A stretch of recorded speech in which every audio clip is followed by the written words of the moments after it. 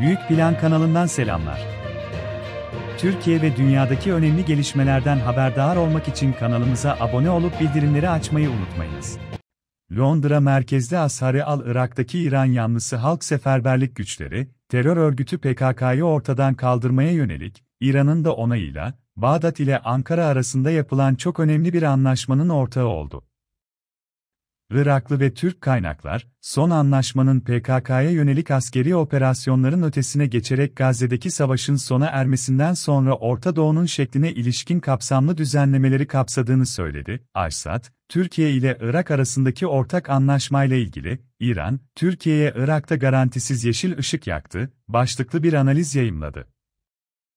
Bir Türk yetkili Şarkul Avsat'a, Ankara'nın planının bir kısmının savaş sonrasında gerçekleşecek değişikliklere hazırlanmak ve bölgede, özellikle Irak'ta sıfır güvenlik sorunu, yaşama kararlılığı olduğunu söyledi. Ancak Sincar'da terör örgütü PKK ile Şii gruplar arasındaki kan kardeşliği, Türkiye'nin yeni planına engel teşkil edebilir.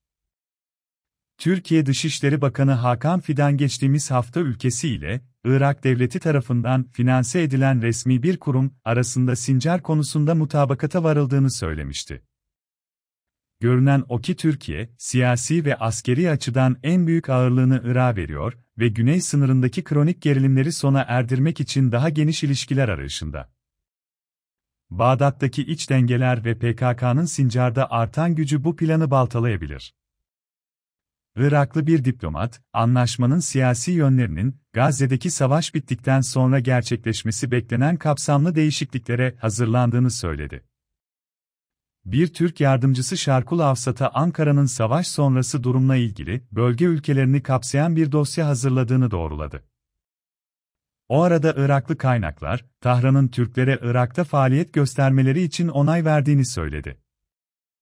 Iraklı bir politikacı, bunun iki ülke arasında gerçekleştirilen resmi istişarelerde PMF'nin dikkate değer varlığıyla yansıtıldığını söyledi. Kaynaklar, Sincar'da PKK'ya karşı silahlı çatışma çıkma ihtimalinin henüz çözülmediğini ortaya çıkardı.